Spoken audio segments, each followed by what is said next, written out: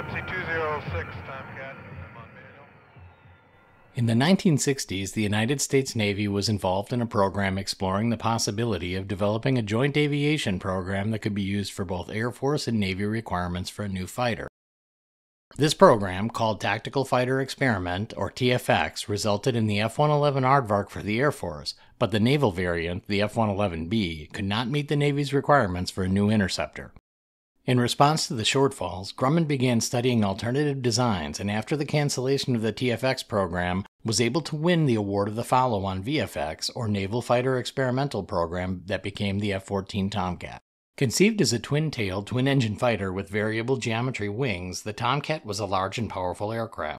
With a top speed of over Mach 2.3 at altitude and the incorporation of the Hughes AWG-9 radar and long-range AIM-54 Phoenix missile, the F-14 was a lethal interceptor capable of both long range engagements but also incorporating impressive low speed handling characteristics for dogfighting.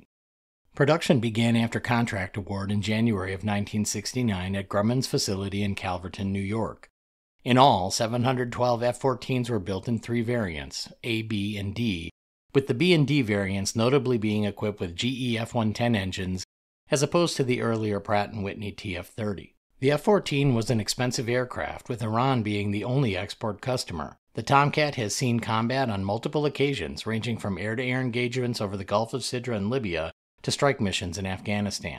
The Tomcat was retired from U.S. Navy service in 2006, though it remains in active service with Iran. To see a more in depth look at the F 14, please visit the Libraero YouTube channel. And to view more interesting aviation history, please come check us out at www.libraero.com. Thanks for your time and consideration, and we hope to speak with you again soon.